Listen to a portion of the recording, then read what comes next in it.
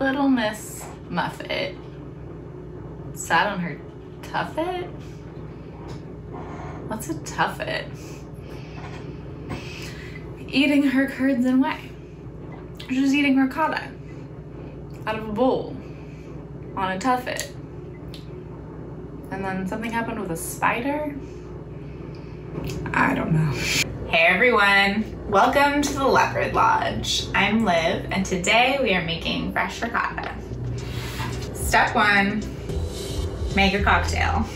The old fashioned, a classic among classics. When you just want to drink straight whiskey, but you want to feel classier than that. Probably my favorite cocktail of all time. We are gonna use an ounce and a half of rye, couple dashes of Angostura bitters, one sugar cube, and an orange peel, and some ice. That's it. No smashing oranges, no smashing cherries, no smashing mint, because that's a mint julep, no seltzer. That's also not in an old fashioned. You're doing it wrong. I'm sorry. Anyway, let's make this. All right, you're gonna take your sugar cube, plop it in. A couple dashes of our Angostura bitters. I like mine a little extra bitter.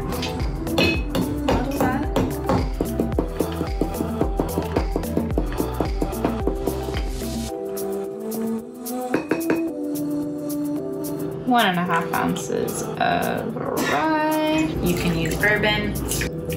If you're using other stuff, just don't tell me about it. Eh. Give that a little swirl before you put the ice in. You want to make sure the sugar is all the way dissolved. I have these lovely large ice cubes. You can make this directly in your glass, but I like to be fancy. Just gonna give this a little uh, twirl for about 20 seconds. We don't want to over stir it because it will get too saturated by water, but we don't want it to be too alcoholic and boozy, and we want it to be cold. A nice little trick that a bartender friend, shout out to you, Shane, taught me is to put your finger outside of the glass, and when it gets cold, you know it's ready. We do not shake spirit forward cocktails. What is a spirit forward cocktail, you ask?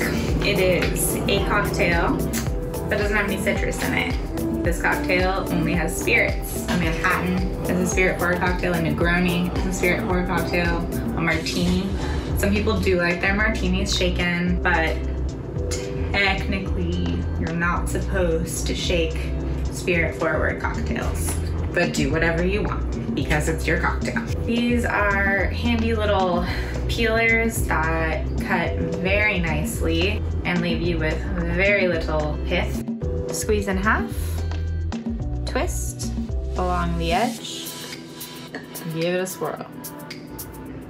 Beautiful little cocktail. Delicious. Like being an old man sitting by a fireplace. Dreams can come true. Just make an old fashioned.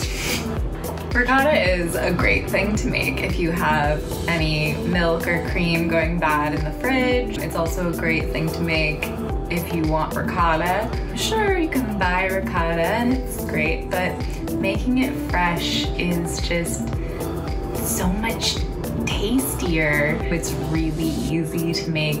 It's not gonna take us very long. You basically just need pasteurized milk, not ultra pasteurized or half and half, or just use straight cream and it's gonna be delicious. I like to use half and half because it's a nice middle of the road and it's cheaper.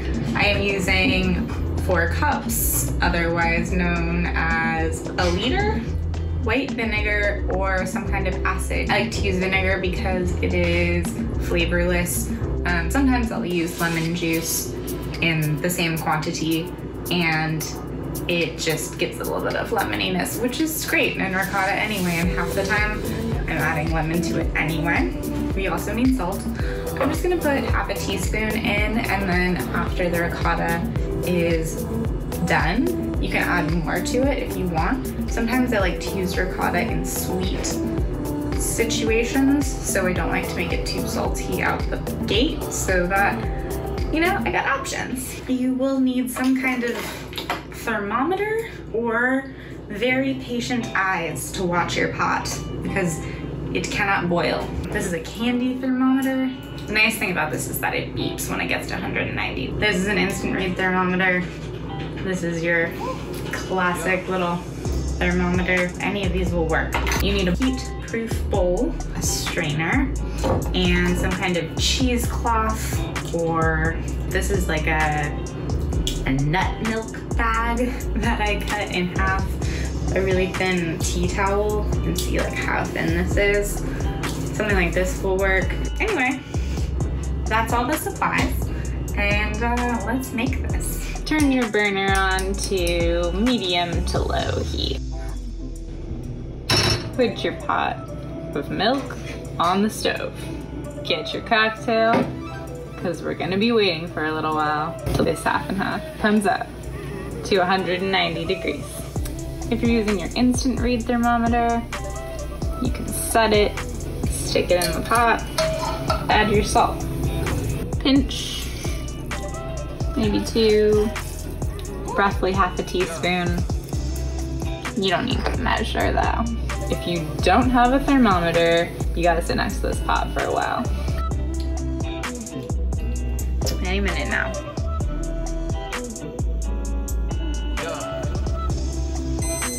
See? Turn the heat off. Grab your vinegar or lemon juice. Two to three tablespoons. It always seems to be a little bit different. You'll see it start to curdle. I think that I did two tablespoons for three cups last time I made this, so I'm gonna do three tablespoons for four cups. Just gonna give it a little bit of a stir. You can see it's already starting to curdle. You don't need to give it a vigorous stir. You just wanna give it a little encouragement to make sure that it's actually curdling. We're gonna let this sit for five minutes. There's about 30 seconds left on my timer. This is what it looks like. You can see that the curds have separated from the whey.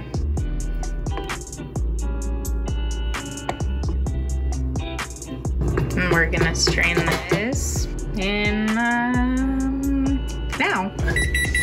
Grab your heat-proof bowl, your strainer, make sure it's fits in your bowl. This this could fit better, but it's okay.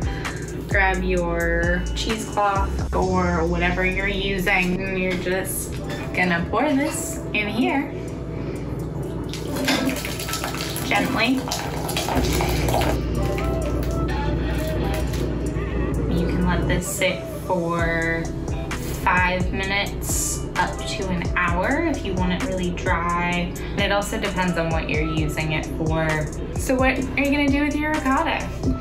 Well, of course you could make lasagna, ravioli, really just any kind of pasta dish would be great. That's what I'll be doing with it. You can slice up some fresh fruit and have some honey and sea salt with it. Mm, that would be a delicious, delicious dessert. Actually, if you're gonna do that, you should bake the ricotta for a little bit and then do the fruit and the honey and the sea salt thing.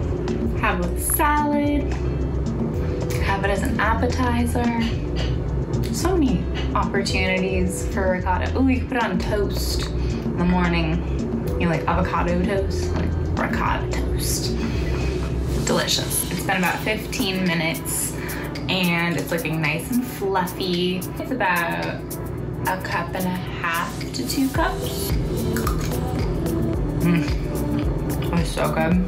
There's nothing better. It's so like warm. I would have pulled it maybe five minutes earlier. I'd say 10 minutes is the sweet spot. Five minutes is a little too wet, but it's still delicious and it's still gonna be great with my dinner. This is the whey that I have left over. I'm trying to come up with a cocktail I can make out of it, but that might be quite experimental, so stay tuned. Anyway, I hope you enjoyed this video.